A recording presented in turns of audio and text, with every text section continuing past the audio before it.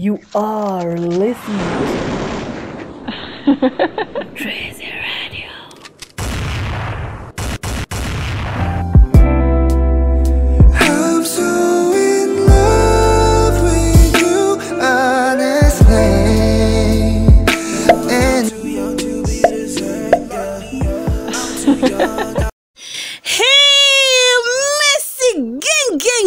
What's popping, everybody? To go Drezzy. Welcome back to Drezzy Radio. Grab that cup of tea. Let's jump straight into this smell. Well, today's topic, this smell. Let me just say it's a good smell, honey, okay? Because it seems like Tanasha Donna's pictures have really, really got a bigger interaction, y'all. Not only Omah Lay, Nandi, uh, Hamisa Mobetto, Faivani, like people are loving these pictures y'all. People are showing tanasha donna love and that is what she needs. Well you guys when first tanasha and diamond got together she had so many people on her camp and of course, when they broke up, you know, many people, most especially females from Tanzania and also in Kenya, distanced themselves from her. You know, they didn't want anything to do with her because they couldn't benefit off of her. Just remember that many people that were uh, befriending Tanasha then, they were only befriending Tanasha because she was associated with Diamond. But ever since they broke up, many of them distanced themselves. But one person that I've never seen acting funny towards Tanasha has always been, of course, Nandi and and Feivani. And now we see that her and of course, Hamisa Mobetto are on good terms, and uh, Hamisa Mobetto also commented at the comment section, and Tanasha Donna called Hamisa wifey, meaning that they actually have a good relationship together.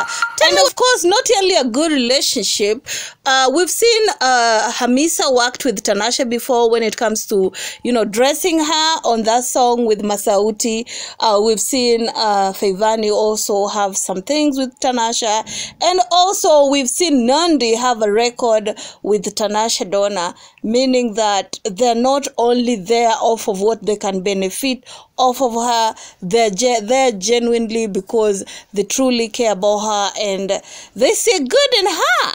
Anyway, if you support Tanasha Donna from this page, we support you too. So we will be supporting Nandi and also Feivani and also Hamisa Mobetto. And that's on period. Okay? Tell me everything down in the comment section. Please don't forget to subscribe, share, like, and comment. Follow us on IG at Drezzy underscore radio. And also we have a new page called Official Tanasha Nation. Official Tanasha Nation. Kindly go in there. We'll be dropping Tanasha Donna's songs, content, anything fresh like never seen before. It is what it is. And also thank you for 5,000 plus subscribers, your road to 10,000. I really, really appreciate. Please don't skip the ads. We really, really need the revenues. And if you really want to donate uh, towards development of the channel, you're welcome. Just, uh, yeah, I'll leave the